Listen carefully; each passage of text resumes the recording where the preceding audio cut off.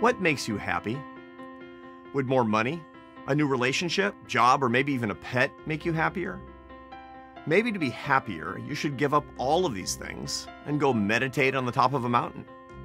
Or perhaps happiness is out of your control and you're just programmed to enjoy it a lot or a little. If you want to have a truly happy life, what do you need to focus on? What should your goals be? These questions have puzzled humanity forever, and many people think they can't be answered. It turns out that there's a huge body of science on human happiness who has it, what causes it, and the biggest mistakes we all make when we're trying to acquire it. This is a course that brings all this information to you, but it does more than just give you facts and data.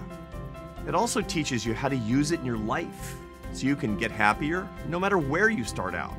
I'll show you how philosophy, social science, history, and brain science all come together to give us the secret to living fuller, more meaningful lives. And I'll teach you the exercises you need to make these secrets a permanent part of your life and share them with the people you love. Everybody wants to be happier. You can make yourself happier, and this course will show you how.